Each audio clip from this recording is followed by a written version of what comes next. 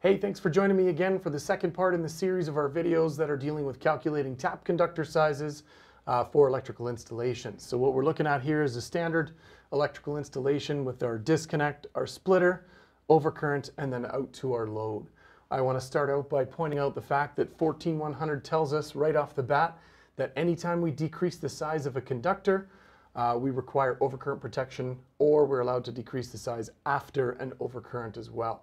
Uh, what we want to look at is what happens and where are we allowed to actually downsize the conductor uh, for a tap conductor. Uh, in the previous video, we talked about 14100A, where we have that allowable downsize in the conductor for a voltage drop type of application. This one here, what we're going to take a look at is taps not over 3 meters. So that is up to and including a tap conductor that is 3 meters in length uh, and why and where we're allowed to downsize that conductor. So the first thing that we want to do with this is we take a look at our 68 amp load. Now, everything up on this side here, we're dealing with is still just a standard branch circuit calculation. And as I mentioned before, we are on the downstream side of an overcurrent device, so naturally we're allowed to have a downsized conductor. Okay? We want to point out we have a 1000 kc mil is the feed from our 600 amp overcurrent 600 amp disconnect. So we would have these 1000 kc out into our taps, okay? If we do not meet the requirements of 14100, our tap conductors would not really be tap conductors. They would just be the same size conductors as our 1000 kc mil feed. Now, when we think about that, we're talking about a 68 amp load here. I don't really want to feed a 68 amp load with a 1000 kc mil. It's not very practical. It's not very economical. Obviously, we want to downsize that conductor if possible. Okay, so 1000 kc mil up to our splitter. We're going to do a branch circuit calculation on this side. I have a 68 amp load. Note that we have 75 degree termination temperatures because we always need to keep 4006 in mind whenever we're selecting a conductor from table 2.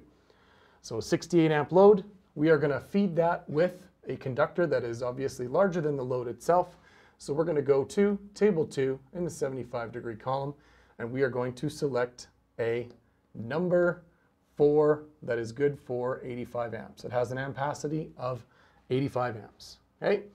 And according to 14104, we are going to protect that 85 ampacity conductor with, from table 13, a 90 amp overcurrent.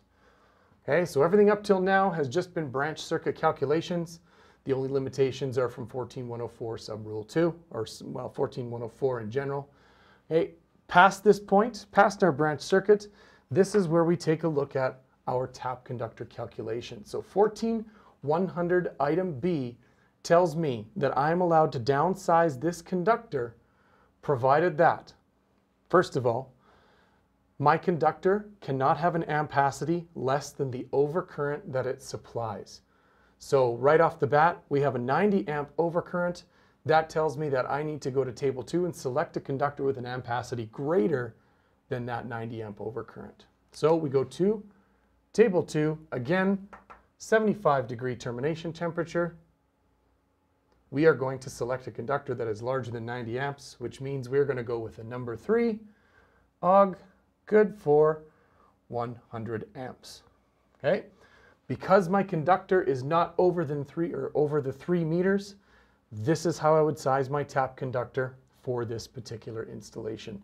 In the next video, we're going to take a look at what happens when our tap conductor is over three meters and under 7.5.